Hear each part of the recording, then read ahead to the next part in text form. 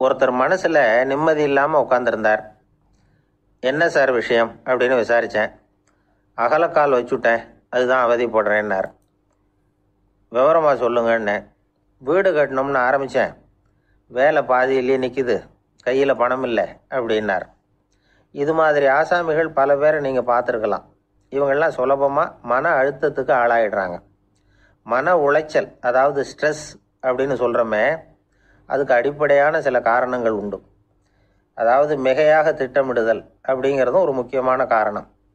நடைமுறை சாத்தியம் என்னங்கிறத மனசில் வச்சுக்கிட்டு எந்த திட்டத்தையும் தீட்டணும். அப்போ தான் அது சரியாக வரும்.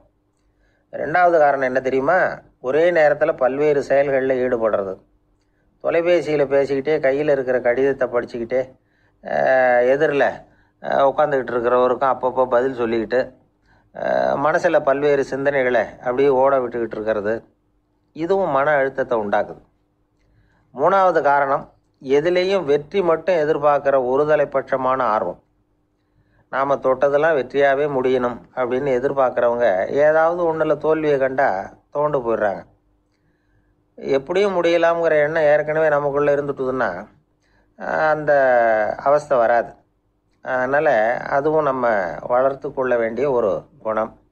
மன உளைச்சல் ஏற்படுறதுக்கு இன்னொரு காரணம் எதையும் வேகமாக செஞ்சுடணும் அப்படிங்கிற துடிப்பு. அந்த துடிப்பே மனசை அழுத்த ஆரம்பிச்சிடும் எந்த ஒரு காரியத்திலையும் தாமதமோ இடையூறோ ஏற்பட்டால் அதை பொறுத்துக்கிற மனப்போக்கம் வேணும். அது இல்லாதவங்க அழுத்தத்துக்கு ஆளாயிடுறாங்க. சில பேர் வேலை வேலைன்னு எந்த நேரம் பார்த்தாலும் வேலையே கதின்னு கிடப்பாங்க.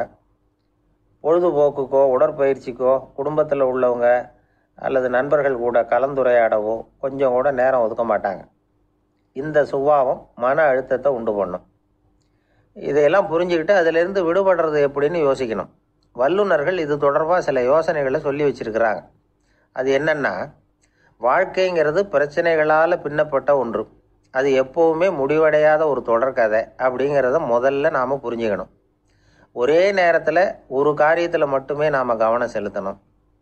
அடுத்தவங்க காரியத்தில் தலையிடக்கூடாது எதையும் பேச ஆரம்பிக்கிறதுக்கு முன்னாடி நம்மை நாமே கேட்டுக்க வேண்டிய கேள்வி ரெண்டு. ஒன்று நான் சொல்ல போகிறது ரொம்ப முக்கியமானதா? ரெண்டாவது நான் சொல்கிறத அவங்க கேட்குறதுக்கு ஆசைப்படுறாங்களா?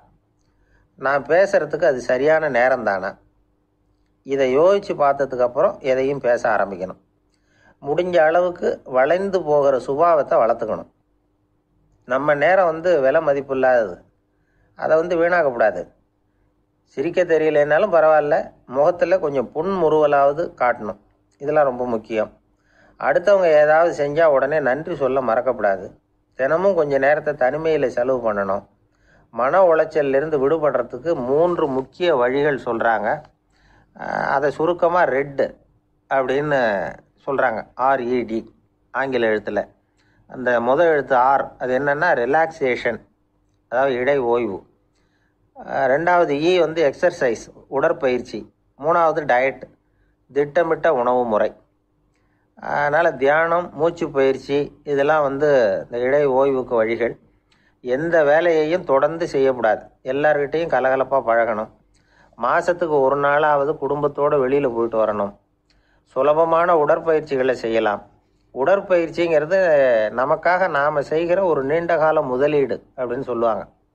அதாவது லாங் டேர்ம் இன்வெஸ்ட்மெண்ட்டாக அளவோடு சாப்பிட்ணும் மெதுவாக சாப்பிட்ணும். இதெல்லாம் கொஞ்சம் மனசில் வச்சுக்கிட்டு நடந்துக்கிட்டால் மகிழ்ச்சியாக வாழலாம். சில பேர் சாப்பாட்டு விஷயத்தில் ரொம்ப அக்கறை எடுத்துக்கிறது உண்டு. ஒரு குண்டு ஆசாமி சாப்பிட உக்காந்தார். முதல்ல ஒரு மாத்திரை சாப்பிட்டார். எதுக்குன்னு கேட்டோம். பசி எடுக்கிறதுக்குன்னார். சாப்பிட்டு முடித்தார் பிறகு மறுபடியும் ஒரு மாத்திரை சாப்பிட்டார். இது எதுக்குன்னு கேட்டோம். சாப்பிட்டது ஜீரணமாகறதுக்கு அப்படின்னார்.